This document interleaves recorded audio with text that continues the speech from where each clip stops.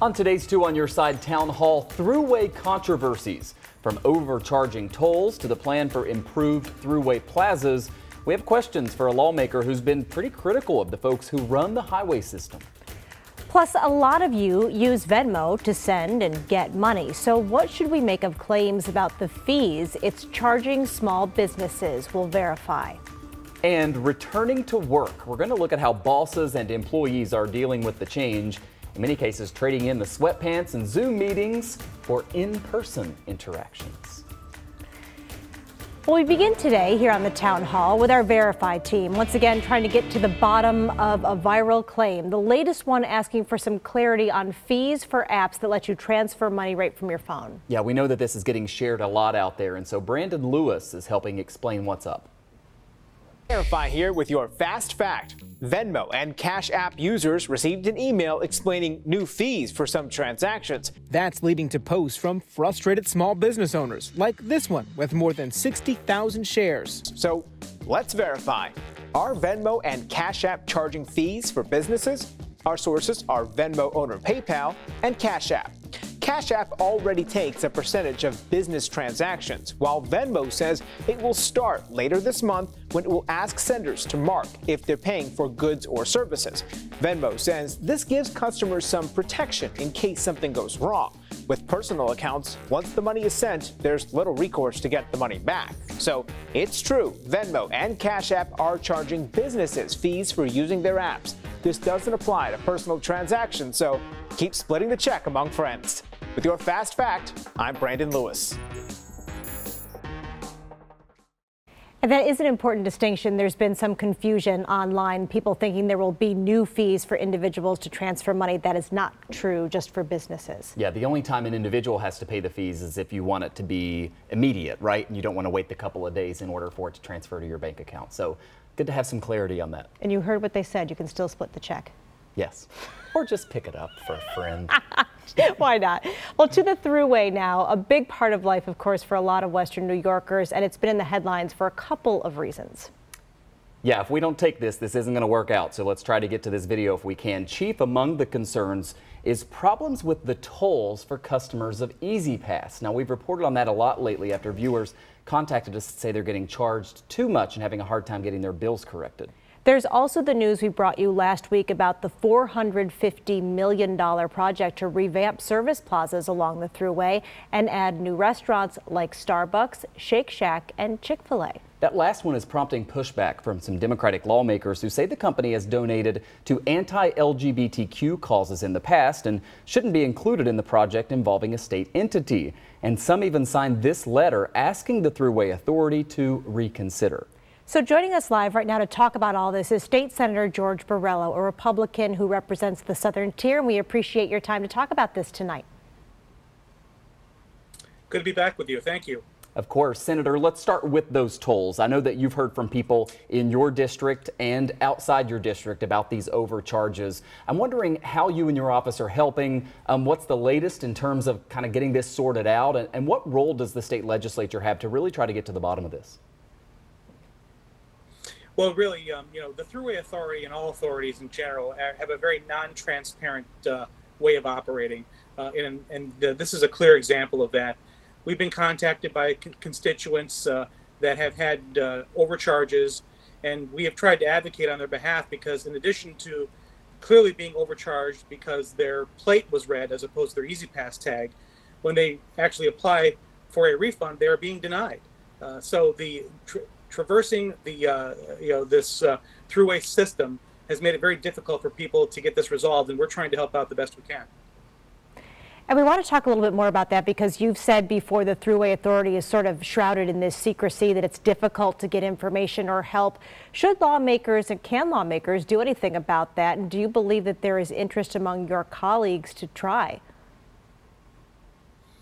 Well, you know, when you look at something like the Thruway Authority, this is and the vendors that they use, um, you know, they are supposed to be following all, all, the procedures that apply to every state entity, but there's really, uh, you know, no way to verify that. And the fact that they use Conduent, who has a history of problems with cashless tolling that goes back to the Grand Island Bridge and the Mario Cuomo Bridge, tells you that uh, clearly there should have been some more open transparency in the choices that were being made. Uh, and now that this thing is statewide all across the thruway, and we're getting reports from across the state of similar issues, it tells me that uh, uh, they have not been held responsible for the uh, for the issues that, that have been created by a uh, an entity that we've had problems with in the past.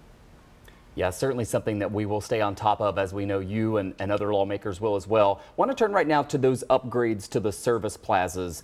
Just to be clear to everybody, this is a private project because the state made a deal with a company to essentially let it run these rest stops with the condition that it fund these improvements, which are very pricey. Um, but there is clearly a state interest here, right? State money involved in a roundabout way. And I'm wondering, do you agree with those lawmakers who wrote that letter saying that New York State shouldn't get involved with a company like Chick fil A because of those prior concerns that we've heard about for a long time? I think first and foremost, uh, they have to make good business decisions to the thruway. As you mentioned, this has been a very costly upgrade, and the thruway service areas were devastated in the pandemic, quite frankly. I travel the thruway frequently, and stopping at the rest areas, the quality and consistency of the service uh, has really lacked. Uh, you know, sporadic hours, poor, you know, not, not very good choices. Um, they're having problems with employees, getting employees to work. So, you know, when you look at the, the condition of those service areas and how important they are to generating revenue for the for the Thruway Authority, I think it's important to have good choices.